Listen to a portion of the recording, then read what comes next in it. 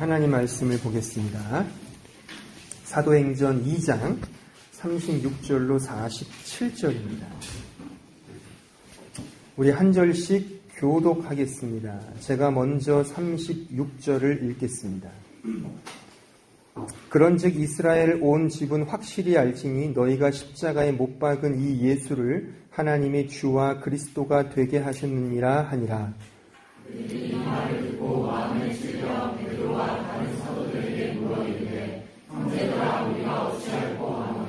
베드로가 이르되 너희가 회개하여 각각 예수 그리스도의 이름으로 세례를 받고 죄 사함을 받으라. 그리하면 성령의 선물을 받으리니 이 약속은 너희와 너희 자녀와 모든 먼데 사람 누구 주 우리 하나님 또 여러 말로 확증하며 권하여 이르되 너희가 이 패역한 세대에서 구원을 받으라 하니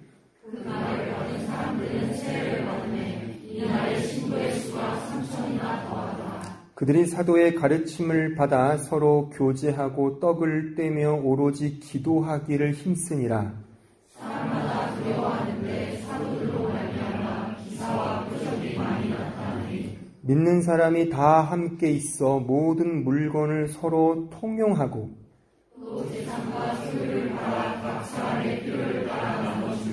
날마다 마음을 같이하여 성전에 모이기를 힘쓰고 집에서 떡을 떼며 기쁨과 순전한 마음으로 음식을 먹고 주께서 구원받는 사람을 날마다 더하게 하시니라. 아멘. 오늘은 종교 개혁 주일입니다. 여러분들께서 상식으로 알고 계시듯이 1517년 10월 31일 마르틴 루터가 당시 로마 교회의 잘못된 신앙의 패습을 지적하며 95개조의 반박문을 비텐베르크 성당 정문에 아, 게시하면서 이 종교 개혁이 이제 말하자면 시작이 되었습니다. 그러니까 오직 성경, 솔라 스크립투라라는 그 기치 속에 그 성경 속에 바로 이 솔라 피데라는 오직 믿음이라는 그 내용을 품에 품은 루터는 어, 당시 면죄부를 판매하며 이 이상 야릇한 구원론을 가르쳤던 로마 교회에 항거하며 이 프로테스탄트의 길을 연 것입니다. 그날이 바로 이제 다음 주에 목요일이죠. 이 독일도 그날은 국경일입니다. 이 작센주는 국경일인데 다른 주는 모르겠지만 그 전통을 이제 이어받은 게 우리 이 개신교입니다. 이 개신교는 원래 개혁교회, 그러니까 이 개혁교회의 준말이 바로 개신교라고 말할 수 있습니다. 우리 교회도 물론 개신교입니다. 우리 교회 정관을 보면 이렇게 돼 있어요. 정관 첫 조에 우리 교회 한마음교회는 초교파 개혁교회다. 개신교다 이거죠. 어, 레포르마토리쉬라고 하여 레포르미어트가 이제 개혁된이란 뜻이거든요. 개혁된 초교파 교회다 이거죠. 그러니까 초교파라는 것은 개혁 교회지만 어떤 교단에 속해 있지 않은 뭐 이를테면 장로 교단, 뭐 침례 교단, 음, 감리 교단이 아닌 그런 것들을 아우르지만 결국 이 레포르마토리시라고 하는 이 개혁 교회라는 어, 그런 전통에 서 있습니다. 그러니까 우리가 말하자면 이 시대의 종교 개혁자들이라고 말해도 과언이 아닐 것입니다. 그 전통을 이어받아 이제 교회가 세워진 거죠. 그래서 오늘 저는 이, 이 교회의 의미란 무엇인가? 그러니까 좁게는 이 프로테스탄트들이 세웠던 교회의 본질이 무엇인지를 좀 생각해 볼 것이고, 넓게 말하면 교회는 무엇이냐? 그러니까 성경이 말하는 교회의 본질과 그 가치와 그것이 이 역사 속에 어떻게 형태화되는지를 좀 생각해 보는 시간을 갖고자 합니다. 사실 이 교회란 무엇인가라는 주제는 지난해 종교개혁 기념 세미나에서 한번 했었습니다. 근데 그때는 아, 존 칼뱅이라는 그 종교 개혁자의 신학을 우리가 아, 이렇게 배우면서 그 사람이 주장한 교회론을 좀 제가 강의를 했다면 오늘은 조금 더 폭을 넓혀서 단지 어떤 교파나 교단에 매이지 않고 성경이 말하는 가장 보편적인 교회의 의미에 대해서 같이 좀 생각해 보는 그런 시간을 갖고자 합니다. 아, 먼저 이 교회라는 이 의미의 개념을 먼저 좀 생각을 해봐야 되는데 이 교회는 헬라어로 에클레시아라는 단어입니다. 에클레시아라는 뜻은 불려 나온 사람들이란 뜻이에요. 불려 나온 사람들. 그러니까 누구로부터 불려 나왔겠습니까? 자기 혼자 불려 나온다는 말은 이게 얼토당토 않죠. 그러니까 하나님으로부터 불려 나온 사람들이 바로 이 교회의 공동체라 이겁니다. 그러니까 독일어로는 이것을 게마인데라고 하죠. 어, 적당한 번역이고 우리나라 말로 하면 공동체. 그러니까 하나님으로부터 불려 나온 사람들의 공동체가 바로 교회인 것입니다. 그러니까 여기서 결코 간과할 수 없는 중요한 사실은 하나님으로부터 불려 나왔다는 것이 매우 중요합니다. 그러니까 교회 공동체는요, 우리끼리 그냥, 야, 같이 모여볼까? 이게 아닌 겁니다. 본질적으로는 하나님으로부터 불려 나와, 나오게 된 공동체가 이 교회인 거죠. 그래서 엄밀히 말하면, ἐκκλησία τοῦ θεοῦ라고 합니다. 헬라어로 말하면 이게 하나님의 공동체라는 거죠. 그러니까 사람의 공동체가 아닙니다. 물론 사람이 모여 있지만 본질적으로는 우리 모두는 다 하나님을 통과해서 이 자리에 모였잖아요. 그래서 이 교회의 본질을 우리가 이해함에 있어서 매우 중요한 것은 하나님께서 불려내신 사람들이기 때문에 하나님께서 맡기신 어떤 것이 있을 겁니다. 그쵸? 그러니까 하나님께서 그 교회에 맡기시고 주어진, 그러니까 수동태예요. 맡겨지고 주어진 그 내용, 그것이 본질이라는 겁니다. 저는 그것을 오늘 세 가지로 말씀을 드리려고 합니다. 제가 그, 이 유인물을 드렸습니다. 거기에 그 세 가지가 질문화되어서 어, 기록이 되어 있을 것입니다. 저는 그 세 가지의 교회의 본질을 이렇게 질문화 해 봤습니다. 어, 교회는 무엇을 믿는가? 그쵸? 교회는 무엇을 바라보는가? 또는 교회는, 교회는 어떻게 운영되고 활동되는가?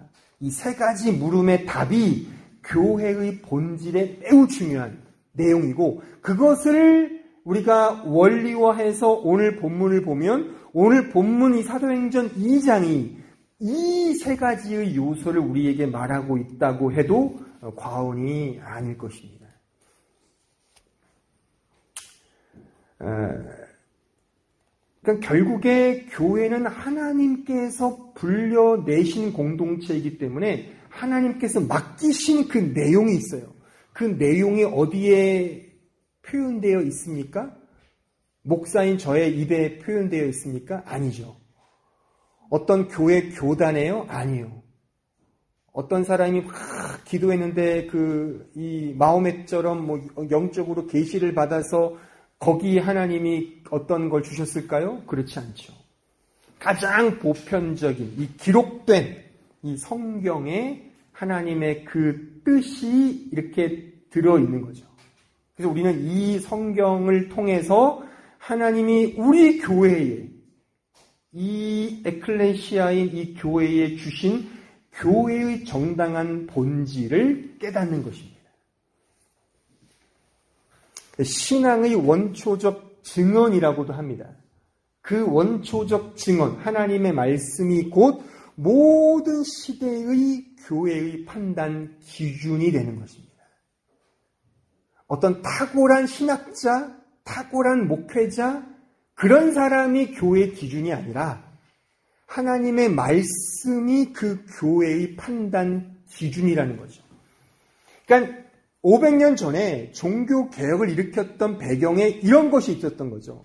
그러니까 로마 교회는 사실 말씀보다도 누구를 더 누구의 누구의 권한을 더 높입니까? 저 로마에 계신 저 교황님. 지금은 좀 다르지만 500년 전에는 절대적이었습니다. 이게 우리의 상식으로는 이해가 안 되지만 그때는 그렇게 믿었었습니다. 그러니까 여러분들이 지금 저를 보시면 제가 그래도 명색이 성직자잖아요. 제가 무음하다고 믿으십니까? 아, 왜 웃으세요? 아, 우리 애, 우리 집에서 사는 애들은 아주 피식 웃을 거예요. 아, 웃기고 있네. 어제도 한타까리 하던데 무슨 흥이 그렇게 생각을 할 수 있겠죠. 부끄럽죠. 아, 근데 이게 그 당시에 통용되었던 아주 팩트였습니다. 그러니까는 그게 아닌 거죠. 그게 아닌 겁니다. 그러니까 여러분들이 이 사실을 꼭 기억하셔야 돼요. 그러니까 우리 교회에 계시든 다른 교회 혹 가시든 뭐 이사하시든 어떤 간에 교회가 중요한 게 아닙니다. 목사가 중요한 게 아닙니다. 하나님의 말씀이 중요한 거예요. 근데 제가 같은 목사지만 동종, 동종에 일하는 목회자들이 너무 구라를 많이 쳐요. 뭐 목사 말이 뭐 하나님 말이다라고 막 떠드는데 제가 봐도 웃겨요. 물론 뭐, 이, 이 가제는 개편이고 싶죠, 저도요. 하도 권위가 없는 목사들이 많으니까 이렇게 막 세우고 싶지만 오늘은 그 명색이 종교 개혁 주일이니까. 그러니까 이 마르틴 루터가 오늘 주제는 아니지만 만인 제사장설을 또 개혁의 기치로 내걸었잖아요. 만인, 우리 모두가 제사장이라는 거예요. 그러니까 모두가 다 목사라는 겁니다. 여러분들 모두 각자가 다. 그러니까 저만 성직자가 아니라 우리 모두가 다 성직자라는 겁니다. 이게 만인 제사장 설이 놀라운 아주 패러다임의 전환이었죠. 그러니까 목숨을 바치면서 500년 전에 종교 개혁을 일으켜서 이 Reformed Church가 나온 겁니다. 그러니까 이건 대단한 사건이었거든요. 그러니까 여러분들이 개신교도라는 자신감을 가지셔야 돼요. 요즘 하도 인터넷에서 개신교, 개독교라니까 아 개독교는 싫어. 아니 이건 그러니까 어감이 좀 그렇지만 개혁교회. 그러니까 개신교라고 하지 마시고 우리는 개혁교도들이다. 그러니까 프로테스탄트다 이거죠. 그런 자부심을 가지셔야 됩니다. 우리는 그 어떤 사람의 일이 아닌 하나님의 말씀에 근거하고 있기 때문에 이 성경에 근거하고 있기 때문에 그러니까 성경이 최고 권위가 있는 겁니다. 그래서 성경을 뭐라고 말하냐면 어, 노르마 노르만스라고 해요. 라틴어로. 이게 뭐냐면 규정하는 규범이다라고 해요. 규정하는 규범. 그러니까 우리 모든 각 교단에 교리가 있지 않습니까? 근데 그 교리를 규정하는 게 성경이라는 거죠. 그러니까 최고 절대적 권위는 성경입니다. 저는 개인적으로 장로교 목사지만 제가 속해 있는 장로교 교단의 교리가 있어요. 하지만 그것은 변할 수 있습니다. 어떤 식으로든. 물론 핵심적인 교리들은 성경의 교리이기 때문에 변할 수 없겠지만 약간 좀 이렇게 자질구레한 것들, 시대를 따라 변할 수 있어요. 하지만 이 절대적인 원리, 제가 오늘 설명드릴 특히 교회의 본질 속에 이 세 가지, 이 사실은 불변합니다. 그러니까 이 자리에 나는 감리교도야. 아, 목사님은 장로교도니까 조금 다른 거. 이렇게 생각하시면 안 됩니다. 이 원리는 교단을 초월하여 교회의 본질로서 하나님께서 우리에게 규정해 주, 주어, 주어, 주신 핵심적인 내용임을 꼭 마음에 새기시고 집중하여 여러분들이 개혁 교회의 신자라면 내가 속해 있는 이 교회, 뭐 우리 교회가 뭐 이렇게 뭐 별 볼 일 없게 보일지 모르지만 우리가 뭐 프라우엔 키레처럼 뭐 큰 뭐 성전도 있는 것도 아니겠지만 동일한 교회입니다. 그 교회든 이 교회든 뭐참 몇천 명이 모이는 교회든 뭐 작게는 몇십 명이 모이는 교회라도요. 하나님의 교회는 같습니다. 그런 의미에서 오늘 이 교회의 본질을 잘 마음에 새기셨으면 좋겠습니다.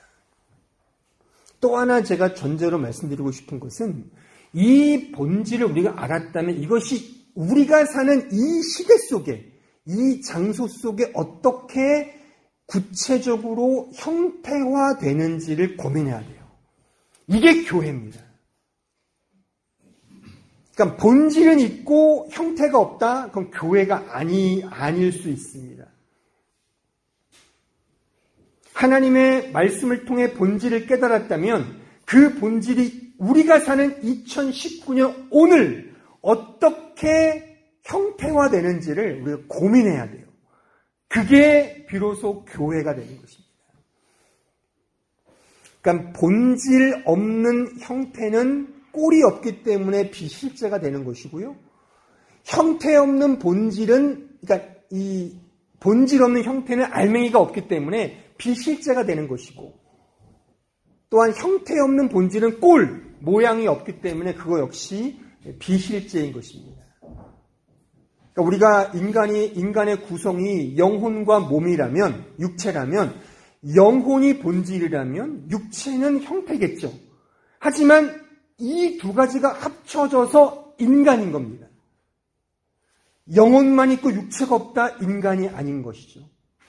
영혼은 없고 육체만 있어요? 그 흙에 불과하죠. 우리 몸이 흙이니까요.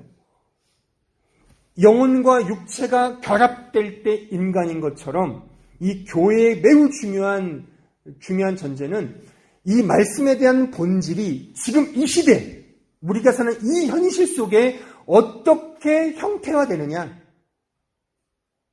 그게 바로 거죠. 그게 현실 교회라고 말을 합니다. 따라서 교회는 우리 종종 이런 말을 하잖아요. 뭐 초대 교회를 본받자 좋은 말이지만 초대 교회가 지금 이 시대에는 불필요합니다. 지금은 지금 교회가 필요한 거예요. 그러니까 16세기 때 종교 개혁을 일으켰잖아요. 그때 대단히 좋은 교회가 있었어요. 하지만 지금과는 상관이 없어요. 지금 우리가 교회를 만들어야 되는 거예요. 우리 현실에 맞는. 물론 본질은 중요하죠. 이렇게 말하면 우리가 사는 이곳은 독일입니다. 독일, 한국이 아니에요. 독일 땅, 지금 이곳에 우리가 어떻게 이 본질을 형태화할 것인가. 그분의 고민과 고찰이 우리 한마음교회의 제2의 도약, 더 제2의 개혁을 일으키는 하나의 중요한 어, 이 내용이라고 저는 생각을 합니다. 이 부분을 여러분들이 사랑방 모임에도 나누셔야 돼요. 제가 그렇게 질문화했죠. 이런 본질과 형태에 대한 관계들을 우리가 꼭 알아야 돼. 이것이 어떤 거 하나가 훼손되거나 약화되면 사실 현실 교회라고 말할 수가 없는 것입니다.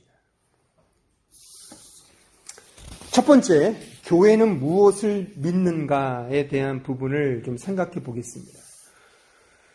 물론 교회는 무엇을 믿는가? 성삼위 하나님을 믿는 공동체입니다. 사람을 믿는 공동체도 아니고 자연을 숭배하는 공동체도 아니고 정치적으로 어떤 정치 제도를 신봉하는 단체도 아닙니다. 목사교도 아니고 장로교도 아닙니다.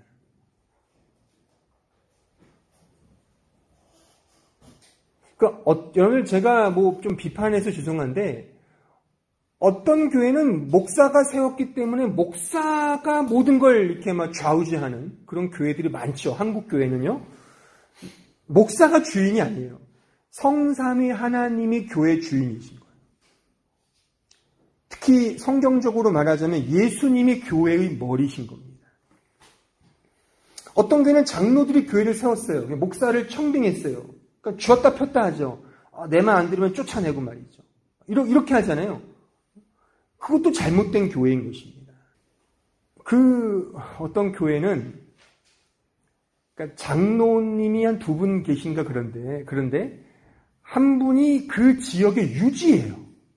그러니까 그분이 그 교회를 줬다 폈다 하는 분이죠. 또 다른 장로님은 그분의 처남이에요. 또 거기에 실세 권사님은 그의 와이프고 다 가족이 이제 해먹는 거죠. 소위 말해서. 그러니까는 그분들의 마음에 안 들면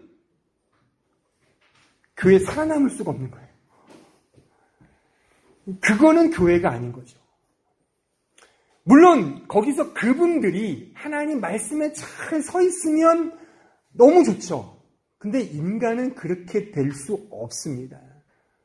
그렇게 한쪽에 그 헤게모니가 모아지면 결국 부패하게 마련입니다. 그러니까 어쨌든 그래서 여담이지만 존 칼빈이 장로교회를 만들 때 이 말씀을 전하는 목회자에게 권한이 집중되지 않도록 의회를 세운 거예요.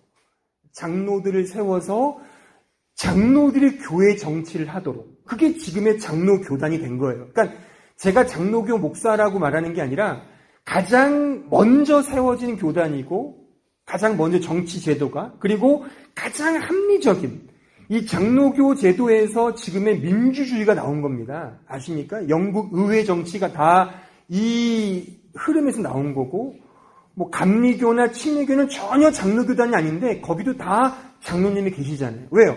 다 이게 차용을 한 거죠. 거기는 감독 정치인데 그러니까 더 합리적으로 하기 위해 이 장로교 정치 제도를 이제 이렇게 어, 차용해서 그 감리교랑 이렇게 혼합을 시킨 것이 지금의 어, 세계의 모든 이 교단의 정치가 된 것입니다. 그러니까 중요한 것은 사람이 아니라는 겁니다. 무엇을 믿는가? 하나님, 성삼위 하나님을 믿는 것이다. 그리고 그 하나님께서 우리에게 주신 이 하나님의 말씀 의 공동체다라고 말할 수 있는 거죠. 그래서 이 하나님의 말씀을 배우고 가르치는 공동체가 바로 교회인 것입니다. 제가 지난해도 말씀드렸지만 에클레시아 도켄스라고 하죠. 가르치는 교회라는 뜻입니다. 교회의 매우 중요한 모토입니다. 그러니까 하나님이 교회의 주인이시기 때문에 교회의 본질 속에 결코 양보할 수 없고 빼놓을 수 없는 말하자면 세레모니가 무엇이냐면 예배인 것입니다. 왜요? 하나님을 예배하는 공동체니까요. 사람을 기쁘게 하는 공동체가 아니라 동호회 모임이 아니라 하나님의 말씀에 순종하고 그 하나님을 기념하는 기념할 때뭐 세례도 포함되고 성찬식도 포함되는 겁니다. 우리 교회는 1년에 두번 성찬식, 성찬 식을 공적으로 하죠. 11월 셋째 주 추수감사 주일날 이 성찬식을 거행하는 겁니다.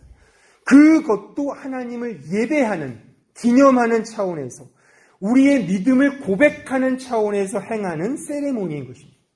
그러니까 거룩한 이게 세크레먼트라고 하죠. 성례라고 하는 거죠. 그러니까 무엇을 믿는가? 바로 하나님을 믿고 그 하나님의 말씀에 순종하는 공동체가 바로 교회다. 두 번째, 교회는 무엇을 바라보는가? 하나님의 나라를 바라보는 것입니다. 하나님의 나라를 바라보는 공동체라고 말할 수 있습니다. 그러니까 이 세상에 발을 딛고 있지만 이 세상의 가치와는 무관한 하나님의 나라의 가치를 추구하고 그 하나님의 나라를 소원하는, 소망하는 공동체가 바로 교회인 것입니다. 그러니까 하나님을 의지하는 공동체라고 막을 수 있겠죠. 바라보는 거니까요. 세상을 바라보는 것이 아니라. 그래서 좀 무모한 공동체겠죠. 무모한 공동체. 이해 타산이 아니죠. 계산이 아니죠.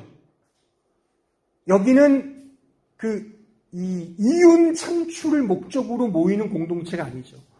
헌금을, 헌금이 많이 들어오고 적게 들어오고가 교회의 세력을 높다 낮다라고 말할 수 없는 이유가 여기 있는 겁니다. 그러니까 매우 무모하고 어떤 의미에서 어리석고 바보 같은 공동체가 바로 교회. 왜요? 하늘을 바라보는 공동체니까요. 그런데 요즘 한국교회 이렇게 나온 거 보면은 다 뭐예요? 돈 문제잖아요. 돈이 엄청 많으니까 그렇게 욕심도 생길 것 같아요. 저라도 생길 것 같아요.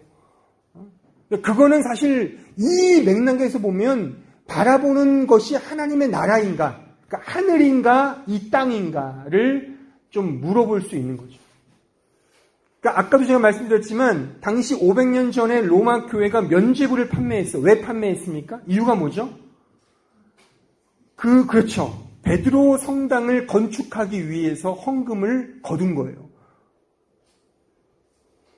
그러니까는 왜 우리 마음에 있는 하나님의 나라를 더 세울 생각을 하지 않고 왜 저 화려한 저는 아직도 안 가봤어요. 저 이탈리아 로마에 가보고 싶죠. 저 가, 갔다 왔던 자매들, 뭐 형제들 이렇게 말 들으면 어 정말 기똥찹니다. 그 베드로 성당 크막 그거 짓기 위해서 이 세상의 도성을 짓기 위해 그런 세상적인 가치를 추구했던 거죠. 그래서 망한 겁니다. 500년 전에. 이제 많이 제2의 종교개혁을 자기들도 했기 때문에 지금 많이 이렇게 개혁됐다고 우리도 보긴 하지만 어, 어쨌든 교회가 바라봐야 될 가치는 이 세상이 아니라 하늘, 하늘의 소망, 하나님의 나라, 그 하나님 나라의 가치를 우리가 소원하고 그래서 그것을 위해 기도하는 겁니다. 기도하는 공동체죠. 여기서의 기도하는 공동체 기도의 내용은 이 세상에서 잘 먹고 잘 살자는 기도도 물론 중요 있을 수 있지만 그것보다 우선적으로 먼저 그의 나라와 그의 의를 구하라. 그 기도 제목에 매진하는 공동체. 여러분 한번 생각해 보십시오. 정말 생각해 보십시오. 그런 공동체가 교회 말고 어디에 또 있을까요? 한번 있으시면 얘기해 보. 물론 비영리 단체들은 그렇겠지만 성경이 말하는 하나님의 나라, 영리를 목적하지 않는 공동체는 이런 의미에서 이 성경이 말하는 교회밖에는 없습니다. 세 번째, 교회는 어떻게 운영되는가, 어떻게 활동하는가. 이것은 이렇게도 다시 어, 다른 표현으로 말할 수 있어요. 교회는 무엇을 위해 섬기고 희생할 것인가? 무엇을 위해 섬기고 희생할 것인가? 바로 희생하면 떠오르는 단어 있죠. 제가 지금 몇 주간에 걸쳐서 계속 강조했던 자기 희생이 제가 뭐라 그랬습니까? 자기 희생이 뭐라고요? 사랑이죠. 그래서 교회는 어떻게 운영되고 활동되는가? 바로 사랑으로 운영되고 활동되는 공동체다. 교회는 사랑하는 공동체입니다. 근데 그 사랑은 제가 지난 시간까지 아주 그 역설했듯이 세상에서 통용되는 사랑 정도가 아니랬죠.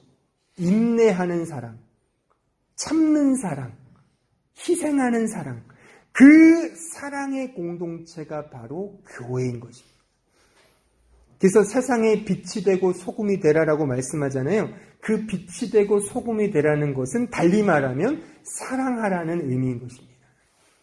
하나님을 향해 자신을 희생하고 동시에 우리의 이웃을 위해 나 자신을 희생하는 공동체, 바로 그것이 교회인 것입니다. 그러니까 교회가 권징이 있어요. 말씀으로 훈련시키고 가르치는 공동체인데 그것은 어디까지나 with love, 사랑으로, 사랑으로 그렇게 권징하고 훈련시키는 것입니다. 이것은 매우 어려운 것입니다. 그래서 훈련해야 되는 것이죠. 쉬운 거라면 훈련이란 단어는 어울리지 않죠. 어렵기 때문에 훈련해야 하는 것입니다. 지금 제가 설명한 이 세 가지 무엇을 믿을 것인가? 믿음의 문제. 무엇을 바라볼 것인가? 소망의 문제. 어떻게 활동할 것인가? 사랑의 문제. 그러면 교회의 본질 세 가지를 이렇게 세 단어로 표현할 수 있겠죠. 즉, 믿음, 소망, 사랑인 것입니다. 이것이 교회의 본질입니다. 믿음, 소망, 사랑. 이 믿음, 소망, 사랑의 이 세 원리를 이제 우리의 현실 속에 형태화시키는 훈련과 작업이 필요합니다. 적용점입니다, 이게. 여기서 본질, 이 믿음, 소망, 사랑을 우리의 현실 속에 형태화하는 데 있어서 중요한 전제 두 가지가 있습니다. 전제입니다. 여러분들이 가진 유인물의 세 번째 답이 나갑니다. 그게 뭐냐면 바로 복음의 공공성과 신자 개인의 자유의지입니다. 복음의 공공성과 신자 개인의 자유의지가 전제될 때 이 세 가지 믿음, 소망, 사랑이 우리의 현실 속에 형태화될 수 있는, 실천화될 수 있는 그런 중요한 전제라고 말할 수가 있습니다. 그러니까 복음의 공공성은 이런 겁니다. 쉽게 말하면 교회에서 그 복음이 공적으로 선포되는가의 문제입니다. 이게 담보되지 않으면 이 믿음, 소망, 사랑이 구체화되기는 매우 어렵습니다. 그러니까 이 부분에서는 저 같은 목사나 교회의 지도자들이 중요하죠. 그러니까 목사가 설교하는데 허구한 날 에세이만 전해요. 예수님의 복음도 전하지 않고 이 하나님 말씀도 외치지 않고 어제 뉴스 보니까 뭐 이렇게 되던데요. 뭐 이런 얘기하고 말이죠. 뭐 에세이 같이 말이죠. 어, 자녀 잘 키우기, 무슨 부부가 어떻게 잘 살기, 뭐 이런 것만 담론만 얘기. 그 나쁜 얘기는 아닌데 이런 성경에 대한 교리나 하나님의 말씀에 대한 강해는 하지 않고 허구한 날 세상 이야기들, 뭐 정치적인 이야기, 뭐 어느 당을 뽑아야 돼요, 뭐 빨갱이에요, 뭐 꼴통이에요, 막 이런 식으로만 이건 그건 설교가 아니죠. 그러니까 그렇게 되는 교회는 이 믿음, 소망, 사랑이 구체화될 가능성이 전무합니다. 거의 있을 수가 없어요. 왜요? 듣지 못하니까. 또한 이것은 매우 중요한 게 그 지역 교회의 교회가 어떤 성격으로 흘러가느냐는 공적으로 복음이 선포되느냐가 매우 중요해요. 사실. 이게 복음의 공공성입니다.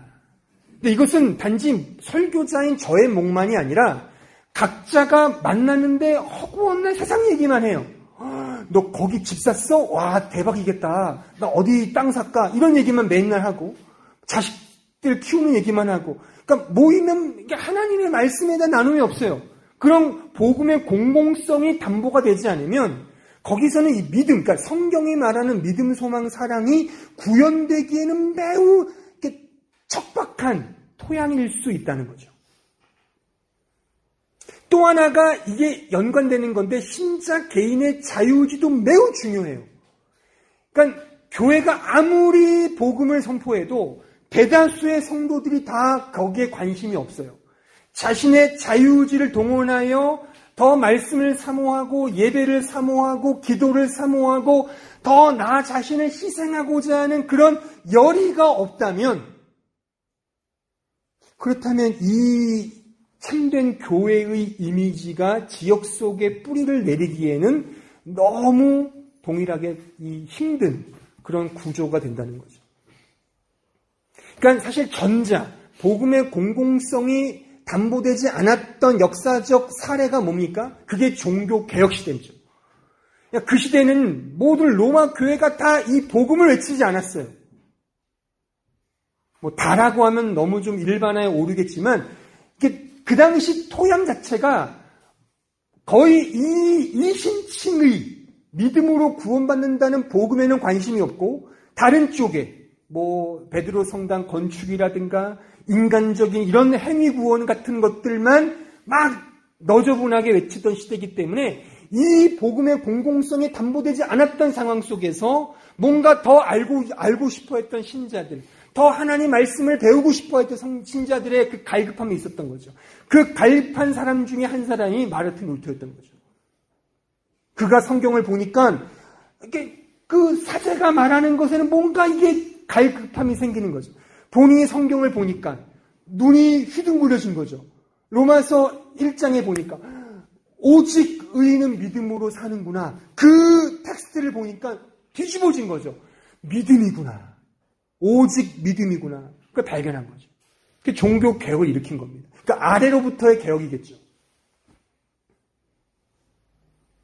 반면에 신자 개인의 자유지가 먹통이 되면 매우 맹목적인 교회가 되든가. 그러니까 목사 한마디에 모두가 다 그냥 공산당처럼 음? 불합리한 것도 옳소 아멘 다 아멘 하세요 아멘. 다 통과되는 거죠. 불법도요. 거의 반 사이비가 되는 거죠. 개인의 자유의지가 매우 중요해요. 그 자유의지를 더 복음적으로 오늘 말한 믿음, 소망, 사랑의 그, 그 본질로 더 여러분들이 끌고 가실 수 있으셔야 합니다. 이 두 가지가 함께 어울려지지 않으면 교회 개혁은 소원합니다. 요원해지는 것, 멀어지는 겁니다. 손뼉도 양손이 마주쳐야 소리가 나듯이 아무리 목회자가 복음을 외쳐도 여러분들이 거기에 호응하지 않는다면 또한 여러분들이 아무리 복음을 듣고 싶어 해도 어떤 지도자와 목회자나 어떤 사랑방의 리더나 어떤 그룹의 리더가 허튼 소리만 하면 그 공동체는 그 공동체의 배는 산으로 가는 거죠. 그러니까 그래서 사실 아래로부터 개혁이 일어나죠. 그래서 아 내가 아무리 목사님의 설교를 들어도 이 목사님의 설교에 은혜가 안 돼. 그러니까 다른 교회 갈 수 있는 거죠. 저는 지금 제가 설명한 이, 이런 성도가 저로 인해 나오지 않기를 저는 늘 기도합니다. 실제 그렇습니다. 물론, 스타일이 다를 수는 있어요. 근데 스타일이 아니라 어떤 이 복음의 핵심, 하나님 말씀에 대한 이해, 이런 측면에서 저도 그래서, 어, 뭐, 이 설교 준비를 저도 수십 시간 합니다. 사실. 머릿속에 잘 때마다 이미지를 그려요. 어떻게 내가 이런 걸 표현할까. 그러니까 제가 말하는 것은 노력을 한다는 거죠. 부족하지만. 그러니까 여러분들도 노력을 하시기를 바래요. 같이. 우리가 다 부족하잖아요. 그러니까 같이 서로가 이 하나님의 말씀을 더 배우고 더 알고 싶은. 그러니까 제가 왜 질문을 하라고 자꾸만 만날 때마다 큰 십자가를 제가 드리냐면 어, 그래야 저도 발전하는 거잖아요. 그렇죠? 서로가 그러니까 질문이 없는 공동체는 이제 더 이상의 발전이 없는 거잖아요. 그러니까 여러분들이 저에게 막 아, 지난 주에도요 주중에도 지체를 만났는데 아주 그 중에서 막 어, 아주 정말 아주 날카로운 질문을 하신 분도 있었어요. 이상해서 야 참좀 어, 되게 흐뭇하고 또 같이 막 아, 얘기도 하고 막 그랬었거든요. 그런, 그런 어떤 모습들. 그것이 단지 목회자와 성도 간의 사이만이 아니라 사랑방 안에서도 그런 좀 치열한 아, 토론들. 그래서 안 되겠어. 목사님을 데려와야 되겠어. 오셔서 뭐 이거 들어봐야 돼. 그렇게까지도 갈 수 있는. 제가 지난 분기 때는 그렇게 들은 적도 많아요. 아, 목사님이 오셔야 합니다. 아, 뭐, 그래서 그때 이렇게 또 이렇게 그런 것도 했었는데 별로 저를 부르지 않더라고요. 그래서 그냥 한두 번 하고 마쳤 그냥 그쳤는데 어쨌든 그래서 이 복음의 공공성과 신자 개인의 자유 의지가 그러니까 신자 개인의 성숙도에 따라 그 교회가 본질을 더 형태화할 수 있는 매우 중요한 요소이며 전제라는 사실을 꼭 기억을 하셔야 됩니다. 그러니까 이 이러한 전제 속에 어, 제가 마지막으로 좀 더 디테일하게 이 세 가지의 본질을 좀 더 형태화시킬 수 있는 어, 내용들을 제가 좀 권면 드리면서 마치고자 합니다. 먼저 성경 말씀을 좀 읽어보면, 자, 디모데전서 4장 6절로 8절을 같이 읽어보겠습니다. 시작. 내가 이것으로 형제를 깨우치면 그리스도 예수의 좋은 일꾼이 되어 믿음의 말씀과 내가 따르는 좋은 교훈으로 양육을 받으리라. 망령 빼고 허탄한 신화를 버리고 경건에 이르도록 내 자신을 연단하라. 육체 연단은 약간의 유익이 있으나 경건은 범사에 유익하니 금생과 내생의 약속이 있느니 거기 7절 마지막에 보시면 내 자신을 연단하라. 이것이 신자 개인의 자유의지에 대한 권면입니다. 여러분 자신을 연단하셔야 됩니다. 더 믿음, 소망, 사랑의 원리로 자기 자신을 부단히 연습하셔야 됩니다. 아, 디모데전서 4장 11절로 13절 같이 읽습니다. 시작. 너는 이것들을 명하고 가르치라. 누구든지 내 연수함을 업신여기지 못하게 하고 오직 말과 행실과 사랑과 믿음과 정절에 있어서 믿음자에게 본이 되어 내가 이를 때까지 읽는 것과 권하는 것과 가르치는 것에 전념하라. 11절에 명하고 가르치라는 복음의 공공성을 말하는 겁니다. 그리고 그 다음 12절 끝에 본이 되라. 우리 개인의 성숙도죠.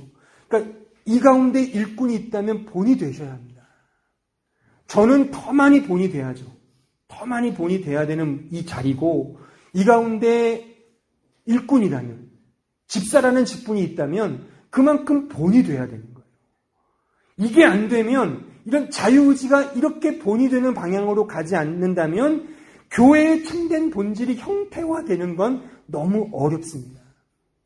왜냐하면 이 어린 아이들, 주일학교 아이들을 포함하여 중고등부 아이들, 청년들은 다 그 선배 신앙자들을 보고 배우는 거죠. 어? 선배들이 맨날 싸우면 아 싸워도 되는구나 그렇게 되지 않겠습니까? 다 보고 배우는 거잖아요. 그러니까 여기서 본이 되라는 말이 의미가 있지 않습니까? 그러니까 여러분들은 다 누군가로부터 본을 받았고 또 본을 끼쳐야 될 사람이잖아요. 그 본을 끼치는 게 말하자면 전도죠. 은배가 전도해 보세요. 아, 교회 가보자. 야, 내가 너처럼 되려고 교회 가겠냐? 아니, 말하자면, 뭐, 예를 들자면요. 그러면 이게 전도가 안 되는 거잖아요. 지금 한국 교회가 그런 상황이잖아요. 교회를 안 가죠? 뭐, 교회를 왜 가? 맨날 싸우고 맨날 이상한 짓거리 하는데, 교회 갈 바에는 부, 불교를 가지. 돈이 안 되죠. 이게 매우 중요한 겁니다. 그 권하는 것과 가르친 일에 전념하라. 이것도 공, 복음의 공공성이죠. 그러니까 이거에 전념해야 되는 거죠. 그러니까 이것을 저로 말하면 제가 복음을 가르쳐야 되는 것이고 여러분들은 그 복음을 들으셔야 됩니다. 디모데전서 4장 15절 16절 말씀 같이 읽어보겠습니다. 시작. 이 모든 일에 전심 전력하여 너의 성숙함을 모든 사람에게 나타내게 하라. 내가 내 자신과 가르침을 살펴 이 일을 계속하라. 이것을 행함으로 내 자신과 내게 듣는 자를 구원하리라. 15절 너의 성숙함을 나타내라. 똑같은 말이죠. 이것이 우리가 해야 할 자유의지입니다. 자유의지를 이 성숙함으로 가야 돼요. 각자가, 각자가. 그리고 계속적으로 가르치고 명하고 또 가르치고 그걸 계속하라. 이 복음의 공공성의 문제인 것입니다. 이런 의미에서 저는 세 가지 믿음, 소망, 사랑을 오늘 교회 본질로 제가 권면해 드렸습니다. 어떻게 형태화할 것인가? 첫 번째, 믿음의 형태화는 말씀에 집중하자, 또 하나 예배의 감격에 빠지자 이겁니다. 저는 그런 의미에서 이번 회기부터 예배 전 중보 기도를 신설했습니다. 사실 이런 맥락입니다. 어떤 의미에서 어, 오늘 이 강의를 준비하기 위 준비하다 보니까 필요한 거라서 제가 여름에 기도하고 고민해서 이제 우리 예배 전에 좀 바쁘고 경황이 없더라도 좀 기도하고 성령께 좀 의탁하자라는 취지에서 이 예배 전 기도를 신선한 겁니다. 그냥 형식적으로 어, 기도 저는 바라지 않습니다. 누구에게 보이기 위해 저도 기도 바라지 않습니다. 정말 우리 모두가 다 이 예배의 은혜를 받기 위해 정말 하나님을 온전히 예배하기 위한 그 감격, 그것에 빠지기 위해 더 준비하자라는 측면이죠. 여러분, 각자가 어떻게 예배에 빠질지를 고민하셔야 돼요. 그러니까 제가 언젠가도 이런 말씀 드렸죠. 주일의 예배를 위해 토요일 날 육체적 쉼을 얻는 것도 하나의 어떤 방법일 수 있죠. 토요일 날 새벽 한두 시까지 잠 안 자고 유튜브 보고 놀고 음악 듣고 하면 반드시 이 자리에서 좁니다. 어쩔 수가 없어요. 이 육체의 신체는 정직합니다. 그러니까 이 예배의 감격에 빠지기 위해 어떻게 내 개인의 자유의지를 쓸 것인지를 고민하셔야 되는 거예요. 저는 사실 제가 존경하는 한국의 목사님이 이런 말을 하셔서 제가 놀란 적이 있어요. 자기는 이 교회 성도들에게 예배의 감격에 빠지기 위해 저 강원도 태백산맥에 있는 강원도 그 태백 그, 그 산에 있는 공기를 주입해서 주일날 틀어준대요. 그 산소통을 가져다가 그 에어컨에 적절히 포함시켜서 돈이 많이 들잖아요. 근데 왜 그렇게 하냐? 예배에 집중하게 하기 위해서. 저도 우리 교회 돈이 많으면 그런 게 뭐가 산소통 갖다가 이렇게 했으면 좋겠는데 그러니까 그건 목회자의 마음인 거죠. 그런 그, 그게 예배에 어떻게 집중시킬 수 있을까의 그 목회자의 고민이 거기에 서려 있다고 저는 생각을 해요. 그러니까 그런 의미에서 여러분들도 이, 이 자리 배치 같은 것도 고민해 볼 수 있는 거죠. 그러니까 너무 뒤에 가 계시면 이게 또 이상한 얘기가 될지 모르지만 고리타분한 너무 뒤에 뒤에 계신 분이 문제가 아니라 뒤에 계시면 집중하기가 좀 떨어질 수 있습니다. 그러니까 옛날 우리 어르신들이 앞자리는 무슨 쌀락이라고요? 그 금메달 자리라 그러잖아요. 제가 근데 여기 맨 앞에 앉잖아요. 제가 여기 두 번째 은메달 자리에 앉다가 이 금메달 자리에 이제 어떻게 해서 앉으니까요. 뭐가 달라졌냐면 물론 뒤에서도 그렇게 더 느낄 수 있지만 이 성가대를 들을 때이 아, 서라운드가 대단해요. 어, 너무 그래서 야 정말 대단하다. 이렇게 막 울려요 귀에서 막 고막을 막 하는 것 같아서 너무 좋습니다. 그러니까 저는 그런 의미에서 우리가 아, 이렇게 자리도 또 적절하게 그러니까 교회의 기본적인 일꾼이나 신자들은 안쪽 앞짝으로 그리고 새로 오신 분들 좀 약간 좀 믿음이 좀 부족하신 분들에게 좀 뒷자리나 사이드 자리를 양보하는 그것도 하나의 배려라고 말할 수가 있는 거죠. 그러니까 그게 목회자인 제 눈에 느껴지는 그러니까 교회의 예배에 빠지기 위한 하나의 좀 어, 제도적인 어떤 어떤 하나의 그 어, 방법이라고 저는 제안을 드리는 거죠. 근데 이것이 중요한 것보다 여러분 각자가 어떻게 믿음을 형태화할 것인지를 고민하는 것도 필요하다. 그래서 가장 중요한 건 기도로 준비하십시오. 저를 위해서 기도하는 것뿐만 아니라 각자가 은혜를 받기 위해 기도하는 것 매우 중요합니다. 두 번째 소망의 형태와 이것은 하나님의 나라를 바라보는 거라고 제가 그랬습니다. 기도와 관련이 있습니다. 기도하는 훈련을 어, 각자의 삶 속에 만드는 연습이 필요하다 이거죠. 어, 기도의 골방을 만들자라고 말할 수도 있겠죠. 뭐 예전에 어느 목회자가 쓴 책에 보면 뭐 낙타 무릎, 그렇죠? 그러니까 워낙에 무릎 꿇고 기도하니까 이 무릎이 낙타와 같이 휘었다고 그래서 낙타 무릎이라는 책을 제가 본 적이 있어요. 그참 의미가 있죠. 그, 그만큼 개인의 기도 훈련, 기도의 마음, 그걸 통해 내가 언제나 세상의 가치를 추구하는 것이 아니라 하나님의 나라를 추구하도록 자기 자신을 부단히 연습시키는 그런 훈련의 과정이 곧 기도라고 생각을 합니다. 그런 소망의 형태화가 곧 기도로 드러나는 거죠. 그러니까 저는 우리에게 심각하게 제가 제 자신과 우리에게 묻고 싶은 게 여러분들이 한 주간 얼마나 기도하시는가. 그러니까 이 부분에서는 목회자로서 되게 안타까워요. 왜냐하면 우리 교회는 교회당이 없기 때문에 매 주일 모일 수가 없어요. 만약 교회당이 있었다면 새벽 예배를 했겠죠. 기도방을 했겠죠. 그런 부분에 대한 아쉬움이 있는 거죠.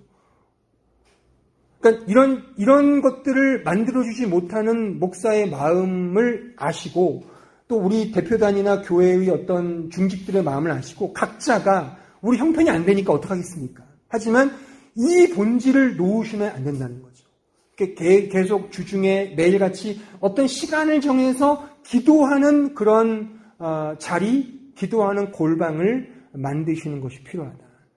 또 좀 구체적으로 더 짚어드리면 이게 물론 기도의 형식과 자리는 중요하지 않고 마음이 중요하지만 인간의 연약함상 나름의 기도의 자리와 장소와 그 골방을 만드는 것이 본인의 의지에 유익해요. 이를테면 나는 이 자리, 이, 이 책상 위에서 나는 기도를 하겠다. 그런 식의. 어? 뭐 어떤 목사님 같은 경우는 우리가 책상에 놓으면 책상에 이렇게 벽에 붙이잖아요. 붙이면 위에 다리를 넣는 그 이게 좀 뭔가 구석진 데가 생기잖아요. 거기 이렇게 무릎 꿇고 들어가서 거기서 기도를 하신대요. 그러니까 굉장히 좀 너무 좀 지나친 세레모니 같지만 본인 입장에서는 그렇게 하나의 장소를 정해서 내가 이곳에서 주님을 좀 은밀하게 또 아무도 보지 않는 곳에서 좀 더 내가 기도에 좀 빠지고 싶다라는 개인의 어, 가고 그런 연습의 어, 장소라고 그렇게 말한 적을 들은 적이 있습니다. 하나의 뭐 중요한 어, 포인트라고 생각을 합니다. 어쨌거나 기도에 힘을 쓰자. 그래야지만 우리의 눈을 들어 하늘을 볼 수 있는 그런 연습이 가능하다라는 사실인 것입니다. 마지막 세 번째 사랑의 형태와 사실 이것은 할 말이 많지만 제가 지난주까지 설교한 내용이 많습니다. 한번 어, 참조하시기를 저는 바래요. 이 사랑은 결코 세상적인 사랑이 아닙니다. 그러니까 하나님의 사랑을 본받는 거예요. 그러니까 이렇게 말할 수 있어요. 좀 디테일하게 지는 것이 이기는 것임을 실천하는 공동체. 언제나 경쟁 사회에서 이기기를 원하는 이 사회 구조 속에 교회는 그런 단체가 아니고 그런 공동체가 아닙니다. 져주는 겁니다. 양보하는 겁니다. 기다려주는 겁니다. 그래서 인내와 온유가 필요한 거죠. 그러니까 내가 좋아서 하는 사랑은 성경에서 말하는 사랑에 부족한 겁니다. 성경이 말하는 사랑은 자기를 희생하는 사랑이죠. 로마서 5장 8절에 뭐라고 나와 있습니까? 우리가 아직 죄인 되었을 때에 하나님이 우리를 사랑하셨다. 그래서 그의 아들을 십자가에 죽이셨다. 그잖아요. 거기서 중요한 포인트가 뭐예요? 우리는 여전히 죄인이었다는 거예요. 내가 하나님을 막 사랑하고 그런 여지가 있었기 때문에 사랑을 베푸신 것이 아니라 나는 여전히 하나님을 적대했던 죄인이었어요. 그때 하나님이 나를 사랑했다는 겁니다. 그 사랑을 우리가 본받아요. 그럼 지금 우리의 현실로 말하자면 나를 싫어해요. 나를 미워해요. 그 사람을 내가 힘들지만 내가 사랑하기 위해 노력하는 것까지 가야 되는 거죠. 물론 단계가 필요해요. 처음부터 그렇게 될 수는 없지만 그 그걸 목표로 해서 천천히라도 가야지 않을까요? 이게 바로 희생하는 공동체, 인내로 사랑하는 공동체라고 어, 말할 수가 있는 것입니다. 사랑하는 여러분, 교회란 무엇인가? 바로 믿음, 소망, 사랑입니다. 믿음, 소망, 사랑을 이 본질을 우리 현실 속에 이제 구현해 내는 몫이 우리에게 주어졌습니다. 이 고린도전서 13장 13절에 보면 이런 말씀이 있죠. 믿음, 소망, 사랑 이 세 가지는 항상 있을 것인데 그 중에 제일은 사랑이라. 여기서 오해하시면 안 됩니다. 사랑이 더 중요하다. 그런 말이 아니에요. 이게 이 의미의 개념상 믿음이든 소망이든 그 밖의 모든 기독교의 원리가 다 무엇으로 형태화되느냐? 사랑으로 드러난다는 의미예요. 그런 의미에서 사랑이 좀 중요한 자리를 매기고 있지만 그것만이 중요하다라는 건 아닙니다.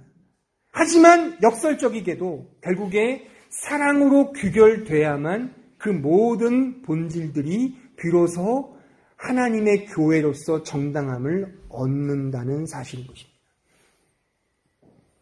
사랑하는 여러분, 우리는 하나님으로부터 정말 받을 수 없는 그 어마어마한 사랑과 은혜를 받았습니다. 이제 우리가 그 사랑을 받은 사람으로서 이 교회에서 이 믿음, 소망, 그리고 그것을 형태화할 수 있는 사랑으로 부름을 받았습니다. 저는 이 교회의 목사로서 저를 포함 우리 모두가 이, 이 교회의 본질, 믿음, 소망, 사랑의 본질을 좀 힘들고 어렵더라도 좀, 좀 계속적으로 매진하고, 매진하고, 애쓰고, 수고하여 우리 생전에 이 한마음 교회 안에서 하나님이 그렇게도 원하시는 ἐκκλησία τοῦ θεοῦ, 하나님의 그 ἐκκλησία, 그 공동체의 참맛을 우리 모두가 느끼고 경험하기를 진심으로 바라봅니다.